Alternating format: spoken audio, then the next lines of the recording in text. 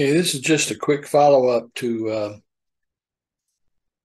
my video early this morning, 3 a.m. Uh, there, I talked about the fact that I didn't trust this rally, uh, that the short sellers would jump in and bring the prices back down. And uh, I also said I would wait until noon to change my order to get it filled.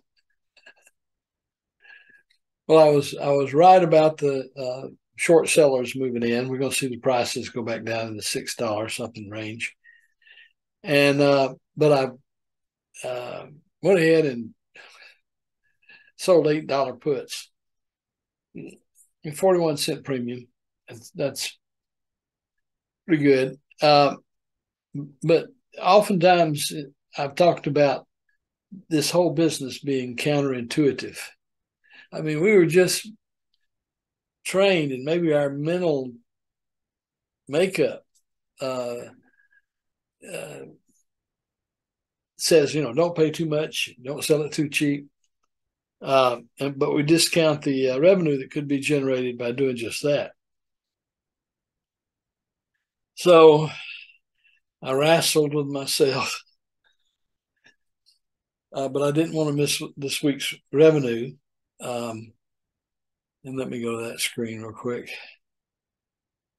So collected uh, $779 in premiums.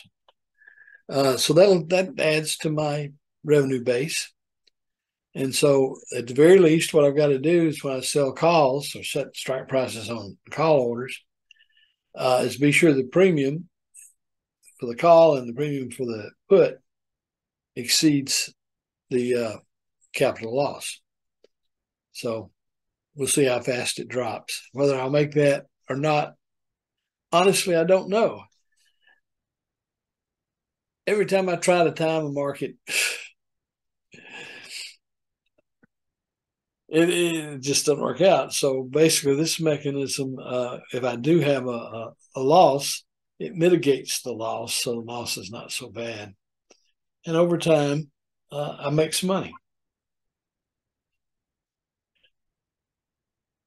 Uh, the other point is that because the price went so high, a full dollar above what I originally wanted to set a strike price at, uh, instead of being able to sell 21 um, contracts, I was only able to cover 19. Uh, but still got a fairly decent um, uh, premium. So we'll see how this goes. I just have to remind myself I've been following this pattern for 15 plus years and it always works over time. So, you know, I don't want to fight against the ocean there. Not going to be able to hold back change. If you're getting anything out of these videos, please subscribe.